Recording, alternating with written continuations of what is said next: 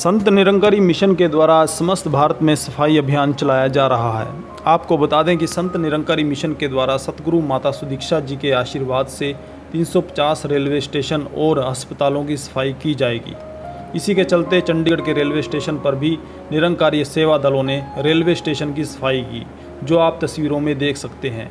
चंडीगढ़ में railway station ही नहीं, बल्कि और भी जगहें इस अभियान को चलाया गया, जैसे मलोया, डड्डू, माजरा, छप्पन सेक्टर और विभिन्न जगहों में इस तरह से सफ़ाई की गई।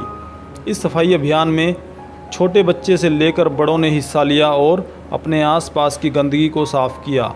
सतगुरु बाबा हरदेव सिंह जी महाराज ने सभी को संदेश दिया था कि गंदगी अंदर हो या बाहर, दोनों सेहत के लिए खराब हैं।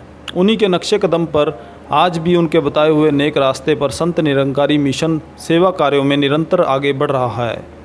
अब सदगुरु माता सुदीक्षा जी महाराज अपने पिताजी सदगुरु बाबा हरदेव सिंह जी महाराज के द्वारा चलाए गए सेवा कार्यों को बिल्कुल उसी तरह मानव सेवा में अपना जीवन समर्पित कर संत निरंकारी मिशन का संचालन कर रही हैं।